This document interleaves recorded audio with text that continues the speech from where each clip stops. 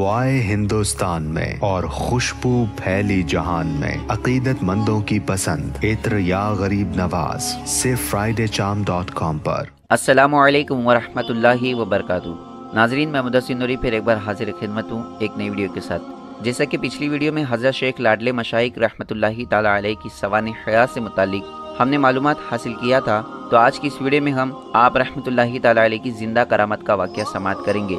कि कैसे आपने एक मुर्दा बच्चे को अपनी करामत से ज़िंदा किया। जी हाँ नाजरीन, लेकिन इस वीडियो को शुरू करने से पहले आप सभी से गुजारिश है कि इस वीडियो को शुरू से आखिर तक ज़रूर देखें। और अगर अब तक आपने हमारे चैनल को सब्सक्राइब नहीं किया तो सब्सक्राइब कर लें। साथ ही जो बेल आइकन है, उसे भी क्लिक कर लें ताकि हमारी हर वीडियो की नोटिफिकेशन आपको मिलती रहे। और वीडियो पसंद आने की सूरत में इसे लाइक करके आगे शेयर ज़रूर करें। तो आइए इस वीडियो को हम शुरू करते हैं। तो नाजरीन अल मुख्तसर मैं आपको ये बता दूँ, आज हम जिन अल्लाह के वली की ज़िंदा करामत का वाक़ समाप्त कर रहे हैं इनका पूरा नाम हज़रत शेख मखदूम अलाउद्दीन अंसारी अल मारूफ लाडले मशाइक रहमतुल्लाहि ताला है। नाजिन हज़रत लाडले मशाइक ताला की मुकम्मल हिस्ट्री जानने के लिए इससे पहले वाली वीडियो को ज़रूर देखें। उस वीडियो का लिंक इस वीडियो के नीचे कमेंट बॉक्स में मौजूद है। तो नाजरीन, हज़रत लाडले मशाइक ताला की एक ज़िंदा करामत जो बहुत मशहूर है। रिवायत है कि हिरोली नामी गाँव में एक देशमुख नामी ब्राह्मण था। उसका दस साल का एक लड़का था जो अचानक बीमार हुआ। इलाज व दवा के बावजूद मौत के करीब पहुँच चुका था, जिसको देखकर गाँव के लोग और रिश्तेदार देशमुख को उस बच्चे की हालत पर आगाह करने लगे।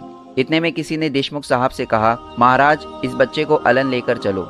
वहाँ एक अल्लाह के वली हैं, लाडले मशाइक ताला उनके दरबार पर इस बच्चे को रख दो तो उनकी दुआ व आशीर्वाद से तुम्हारा बच्चा ठीक हो जाएगा। ये सुनकर देशमुख साहब ने सवारी का इंतज़ाम किया और बच्चे को लेकर अलन शरीफ रवाना हुए। लेकिन हिरोली से कुछ फासले पर उस बच्चे ने दम तोड़ दिया और सब लोगों ने उस बच्चे को मुर्दा करार दिया और कहने लगे, अब वापस गाँव चलो, ये बच्चा तो मर चुका है। लेकिन बच्चे की माँ रोते हुए कहने लगी, मैं अपने बच्चे को उस अलन वाले बाबा के पास लेकर जाऊँगी और उनके दर पर मेरी किस्मत आजमाऊँगी। इस तरह वह औरत जिद करने लगी, जिसकी वजह से माँ के इसरार पर तमाम लोग उस बच्चे को लेकर अलन शरीफ आए। और बच्चे की माँ फ़ौरन बच्चे को आप रहमतुल्लाहि ताला के सामने रख कर कहने लगी, मैं ज़िंदा बच्चा लेकर आपके दरबार पर आ रही थी, लेकिन ये रास्ते में मर गया। मैं तुम्हारी आस लेकर यहाँ आई हूँ। मेरी आस पूरी करो, मेरी गोद भर दो बाबा।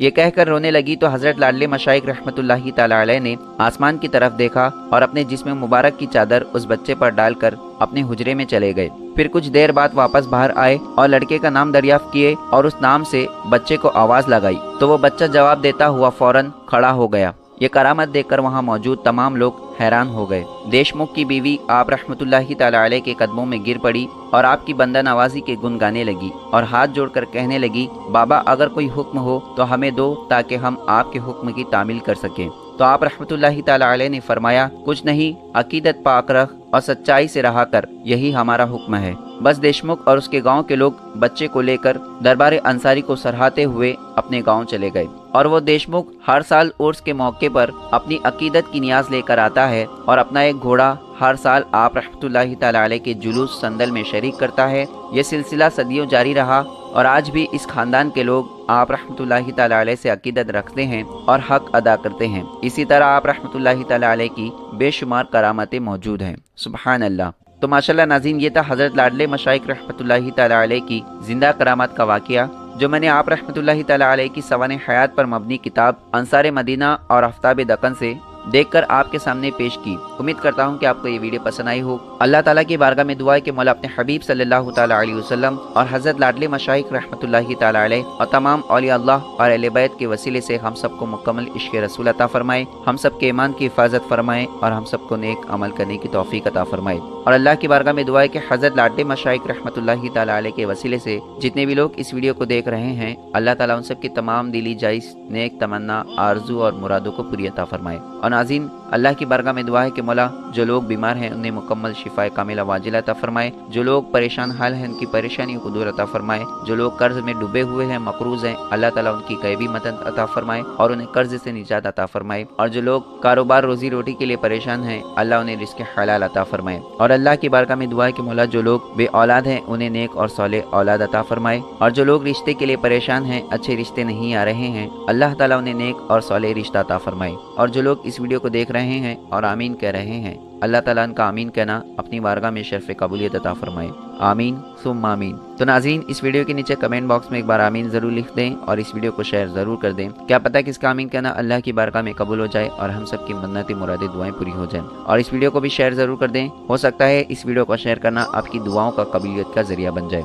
नाजीन अगर आप हज़रत लाडले मशाइक रहमत की सवान हयात से मुतालिक मुकम्मल मालूम हासिल करना चाहते हैं तो इस वीडियो के नीचे कमेंट बॉक्स में सवान हयात की फुल वीडियो का लिंक है, आप उस लिंक पर क्लिक करके उस पूरी वीडियो को देख सकते हैं। तो माशाल्लाह नाजीन फिर मिलते हैं ऐसे ही नॉलेजेबल और इन्फॉर्मेटिव वीडियो के साथ जब तक के लिए खुदाफिज। असल वरहमल वर्का